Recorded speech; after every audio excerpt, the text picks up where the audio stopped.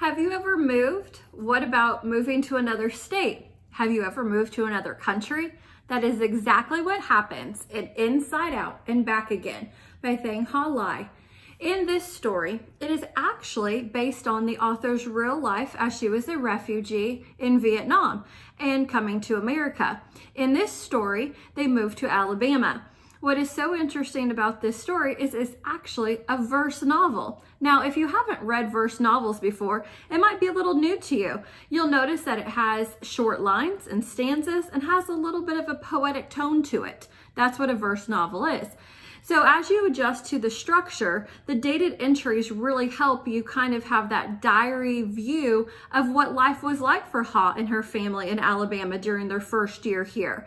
Not only does she have to navigate a new town, a new school, but also new friendships. And I bet you can imagine that coming from another country and not speaking the same language is probably a little difficult.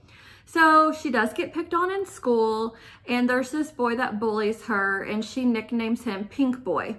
Now, as the story progresses, they start to become a little bit more comfortable with being in America and learning sort of the new ways of how people do things here. But they do stay really true to their country and culture.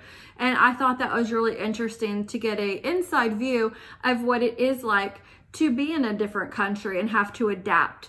The whole story ebbs and flows and pulls on your heartstrings as they're figuring out if their dad is going to make it home from war. Now, the main character, Ha, has some times where she feels down in the dumps, but there's also times where she brings a little sass too. She is a 10 year old girl after all, and she has older brothers, and she's trying to navigate friendships at school. So the little sass is to be expected, and it kind of made for a fun little tidbit in the story.